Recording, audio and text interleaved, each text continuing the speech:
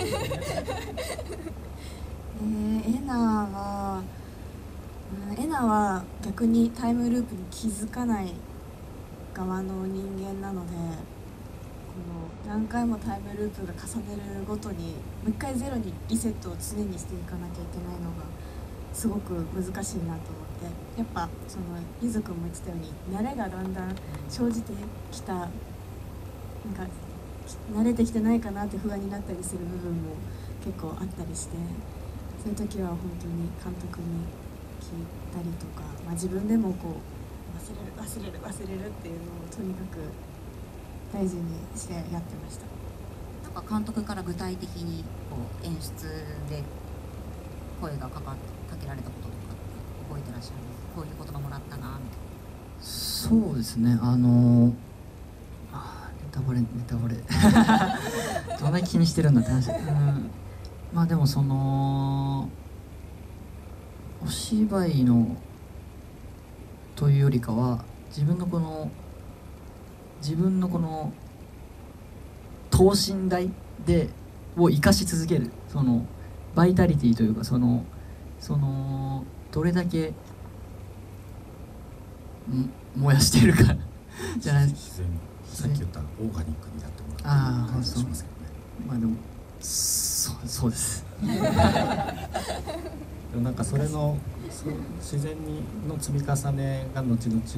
まあ、コントラストにつながっていくのでさっきも言ったみたいに相手キャラを誇張することもなく、まあ、自然になってもらったっていうことで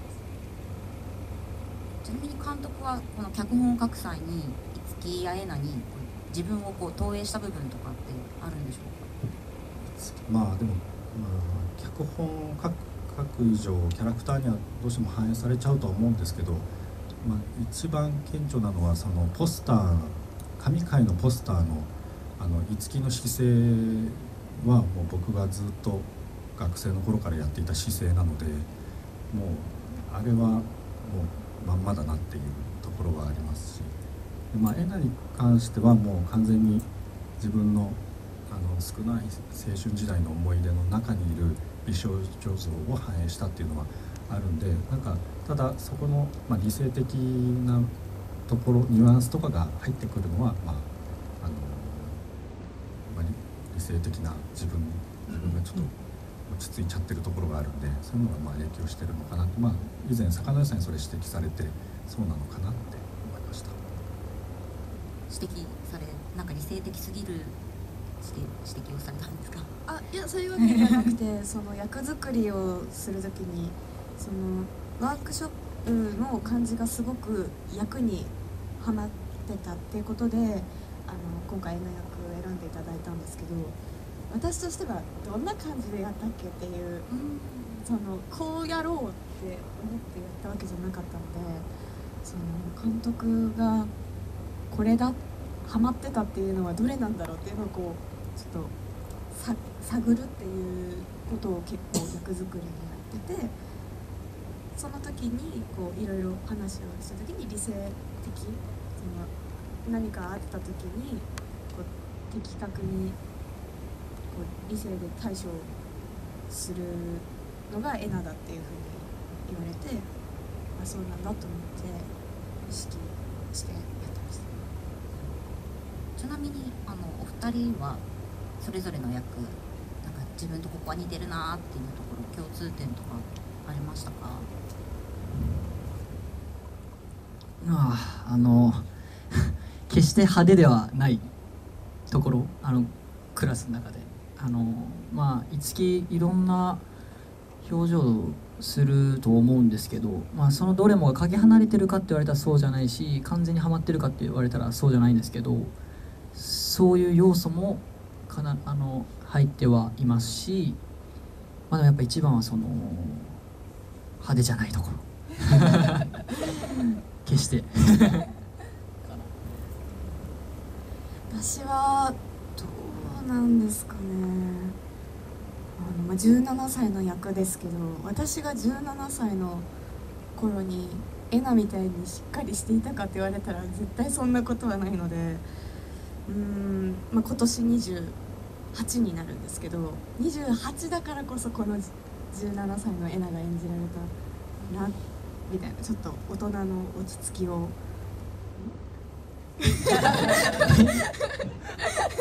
若い時を客観視できるようになったんですよね、はい。ちょっと大人になったからその落ち着いたエナがやれたのではないかなとは思います。等身大だったと思いますちょっと顔色伺っちゃいました。なんかお二人結構現場で本当に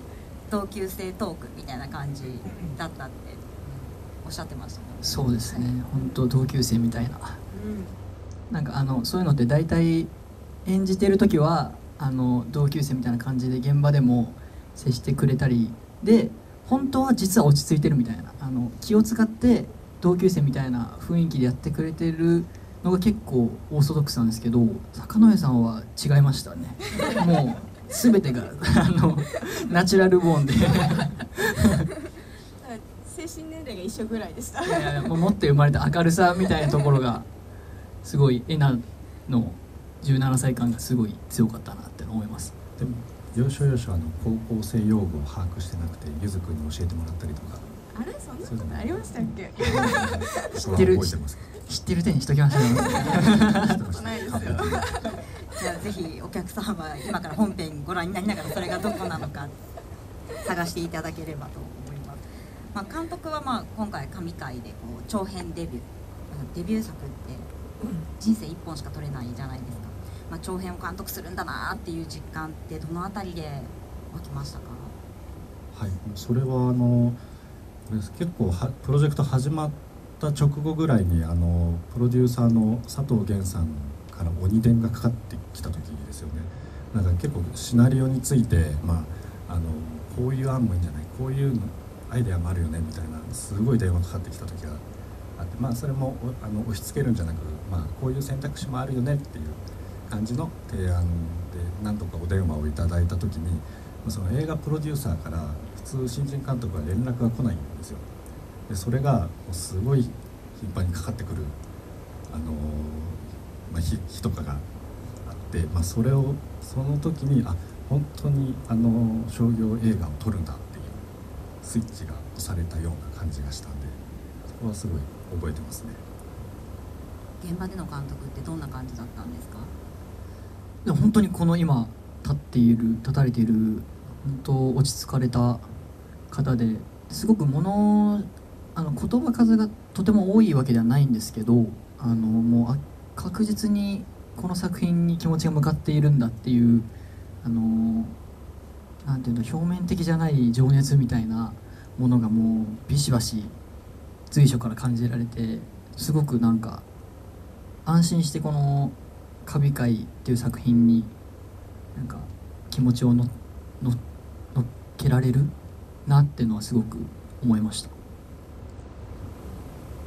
いや本当に基本的には静かな方なんですけどでもここぞって時には絶対こうもっとこういう風に言って言ってくださる方だったからなんかもうそれを信じてました。本当信じられる方だなって思っててそのゆずくんも言ってたようになんか言葉にせずともこうまとう空気がもうメラメラしててよしやるぞみたいなのをすごく感じてたのでなんかその空気についていこうっていう気持ちにやってました。ちょっと話をガラッと変えてみて。今回設定高校2年生17歳っていう設定でしたけど皆さんは高校時代ってどんな学高校生でしたか？文化祭の思い出とかあったらぜひ教えていただきたいなと。ありますか？文化祭の思い出。ありますよ。俺がないかのようなマウントみたいな。あのちなみにその五木とえなは今回文化祭実行委員というこう役どころだったりするのでちょっとそれにまつわるところ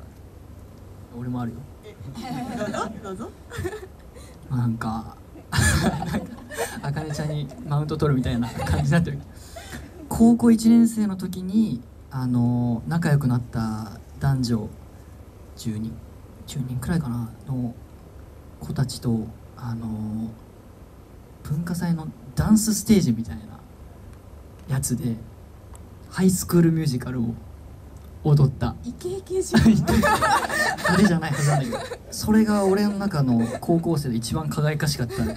瞬間。それがピーク。ピーク？ピーク。早かったね。早かった。えでも私もちょっと似ちゃうんですけど高校1年の文化祭で当時あのちょっと変わった高校であの共学だけど女子しか在籍してないほぼ女子校みたいなところに私は通っててで1個下から共学、まあ、男子が入ってきて共学になったんですけどまだ女子しかいない文化祭の、まあ高校1年生私もステージに立ってダンスをしたんですけどその時私は AKB48 を センターで センターか。センターか。俺3列目。踊って。センターで踊って最後クラスのみんながわーって集まってこうイエーイって担任の先生の名前言ってなんか「カズちゃん大好き」みたいな。っていうすごいなんか楽しい文化祭があります。負けた。皆さん踊ってらっしゃる。監督はどんなステージを立ったんですか？その輪に入っちゃいけないなと思ってたんですけど僕はそれをもう15歳ぐらいからあのもう映画を撮ってたのでそういうそうキラキラした人たちを撮ったりとかしていてでも二十歳ぐらいにはもうあのこうやって劇場でトークイベントをしてるだろうって思ったらまさかこんなに時間かかるとは思わなくて今年39になるんですけどその時の自分にそんな甘くないぞって言いたいですね。はい。まあ、すいません。最後盛り上がったところでちょっと名残惜しいんですけどそろそろお時間が迫ってまいりましたので最後に皆様から一言ずつこれから映画をご覧になるお客様にメッセージをお願いします。では監督からお願いします。はい、えー、この神回という作品は、まあ、本当にいろんなあの見方があるんですけど、まあ、あの本当に青木ゆずと坂上茜を楽しむ作品でもあると思っておりますので、まあ、そこを楽しんでいただくっていうところとあとはま若い、え世代だけでなくてどの世代にもま絡まとわりついてくるような、えストーリーになっておりますのでぜひ、え皆さん、あのーまあ、自分事として、まあ、見ていただけるとありがたいなと思います。あとはそうですね、あのーこの作品、まああのーすごい口コミが、えー今後の展開に重要な影響を出してくると思いますので、まあ、見ていただいた後に、まあ、レビューであったりとか SNS 等で、えー何かコメントなど残していただけると本当にありがとう、えー助かります、えー本日はありがとうございました。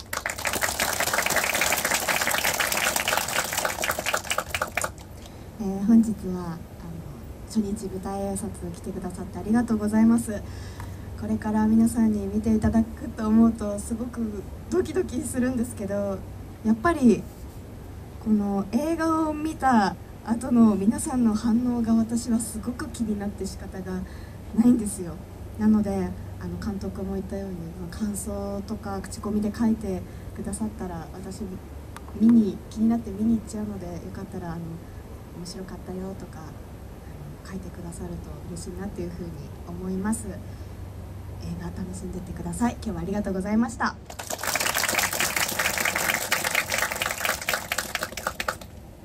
青木さんお願いします。はい、えー本日はありがとうございました。えっと本当まず無事初日初日を迎えられたことがすごく嬉しいのと、普段は本当に僕も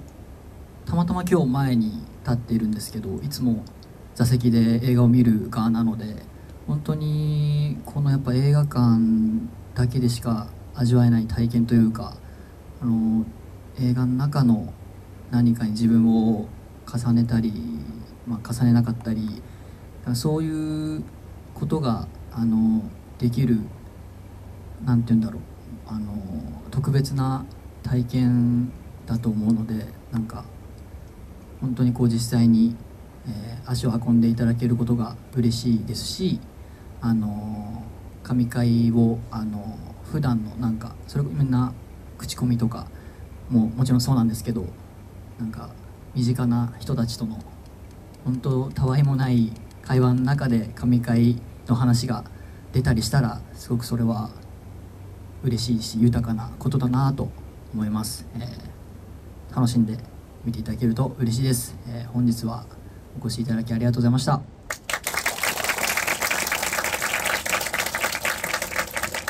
りがとうございます。それでは最後にフォトセッションに移らせていただきます。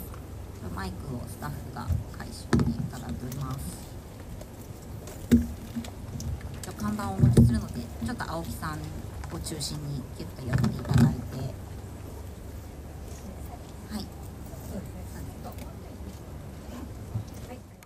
ではあの今日ムービーが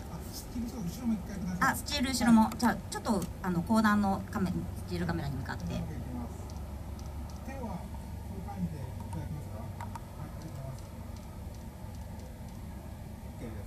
はい。では、えっと、しばらくムービーに向かって手を振っていただいて。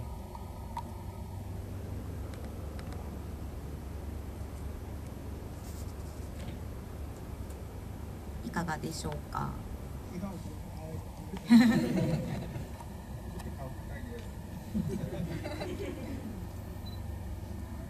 と向かって右側に少し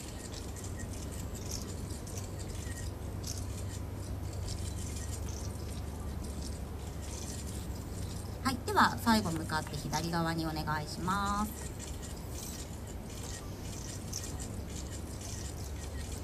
はいでは終了でお願いします。はい、ありがとうございます。以上をもちまして、えー、神会の初日舞台挨拶を終了いたします。ゲストの皆様を今一度盛大な拍手でお見送りください。青木ゆずさん、中野上かみさん、中村一郎監督でした。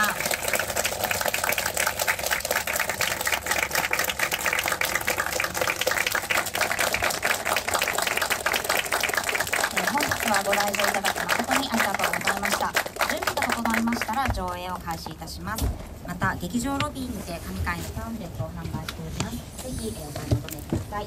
そして映画面白かったと思ったお客様はぜひハッシュタグ映画神回をつけて SNS に投稿を、